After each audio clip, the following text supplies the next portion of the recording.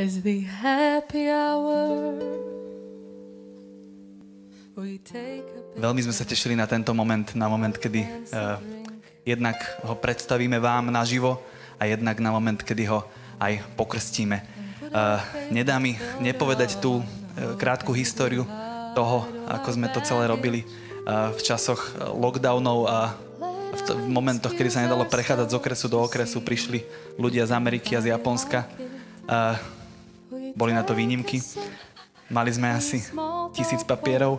Bolo to krásne a o to väčšie e, zadozučnenie je to, že dnes tu nie ja môžem stať, ale že tá istá zostava, medzinárodná zostava spolu s Ester, ktorá album nahrávala, vám dnes zahra naživo a spolu aj album pokrstíme. Ester Wiznerová a Blue Journal. I took my boat to the ocean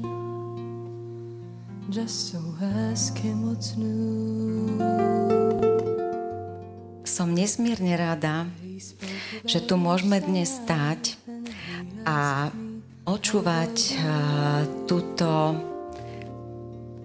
hlbokú, nielen muzikánsku, ale aj ľudskú výpoveď tejto mladej dámy, ktorá síce pôsobí krehko, ale je veľmi silná, že toto všetko eh, zvláda. A len by som chcela zapriať, aby tento nosič, tento modrý zápisník, alebo ako by som to mohla eh, preložiť, aby sa nielen dobre počúval, ale aby sa aj dobre čítal. Keď som počula, že tu mám stať v takejto úlohe, tak prvé, čo ma napadlo, bolo, keď mala Esterka 5-6 rokov. Prezradím.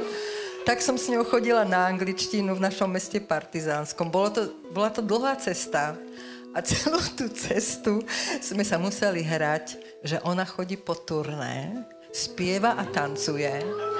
A ja som taká jej chúva.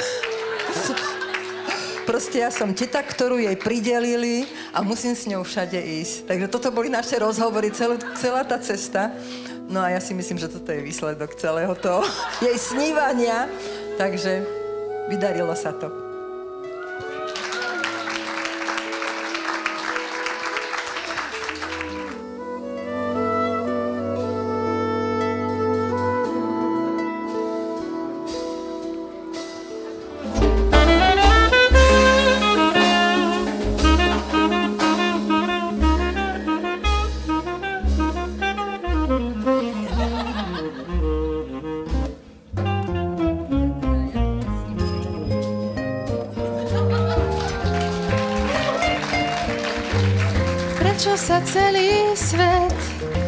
Týka toho, čo nás trápi.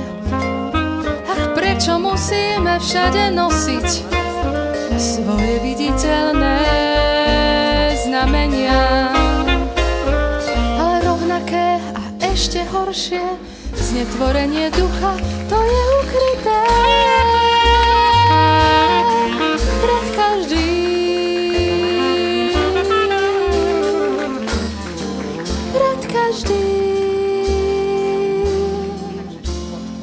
Smrti budeme mať všetci krásny hrb.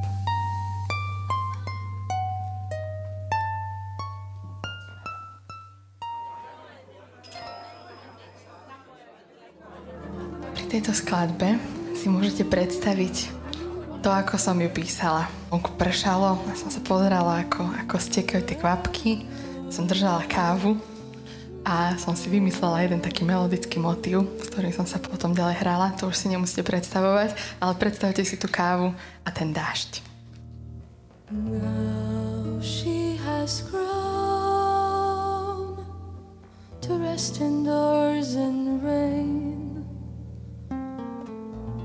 She won't let coffee or love drip away.